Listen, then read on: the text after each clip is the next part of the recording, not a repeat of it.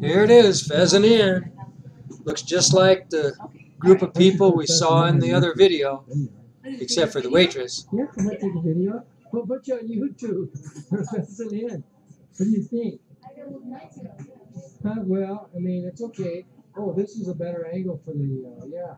So this is Wednesday night at Pheasant Inn in Briggsville, Wisconsin, where they have senior night meals for under seven dollars, and they're good, and a pretty view of the lake.